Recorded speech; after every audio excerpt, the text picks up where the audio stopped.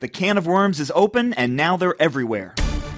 From the Chuck Colson Center for Christian Worldview, I'm John Stonestreet with The Point. So, is a baby conceived after a parent's death still consider that parent's child? 20 years ago, this question would be ridiculous. Last Monday, it was debated in the Supreme Court. Through in vitro fertilization, Karen Capato conceived twins with her husband after his death, and then applied for his Social Security benefits for their children.